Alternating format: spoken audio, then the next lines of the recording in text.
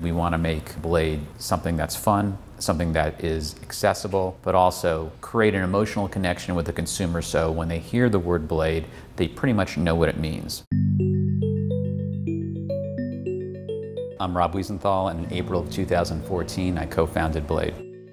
We actually incubated the company.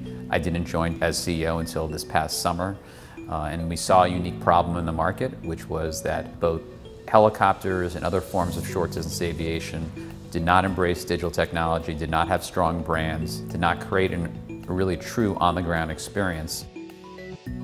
In entertainment, whether it's films or music, it's all about telling a story. And at Blade, to us, it was always about telling a story.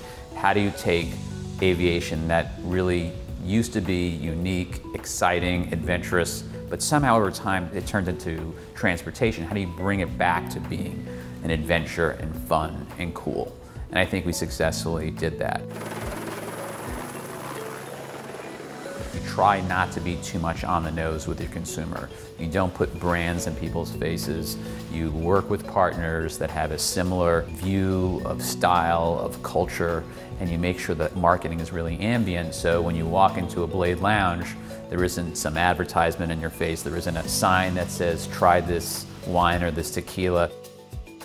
You really have to understand that your consumer is much more sophisticated than you give them credit for and they want to kind of discover things on their own. They don't want to be pushed too hard.